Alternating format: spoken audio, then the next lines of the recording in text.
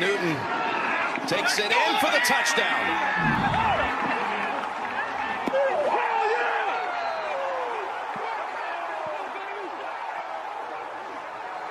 Extending his NFL record with a 59th career rush touchdown.